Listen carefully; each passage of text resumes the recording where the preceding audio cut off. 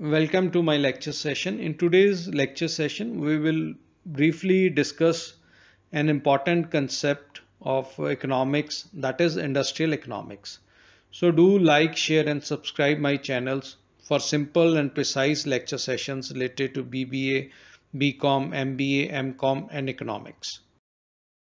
As we know that the industry is defined as the economic activity where the raw material is converted into finished goods, whereas economics is a branch of social science which is focused on production, distribution, and consumption of goods and services.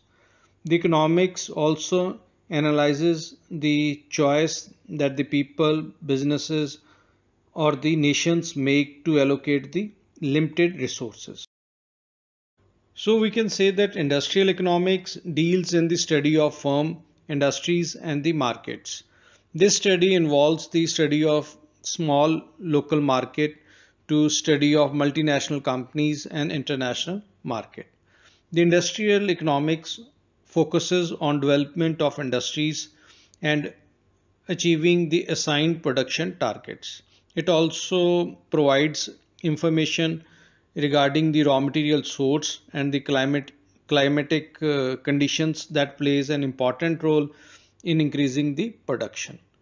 In industrial economics, we also study the problems faced by various industries and how these uh, problems can be overcome. The scope of industrial economics includes the type of business organization, the industrial efficiency which covers the proper quality and uh, quantity of production the location of uh, industry where the industry can be set up the performance of the industry and the market structure. The scope also covers the sources of finance from where the capital can be arranged the determinants of uh, profitability and uh, modern concepts like uh, diversification and then acquisitions and mergers. So all these constitute the scope of industrial economics.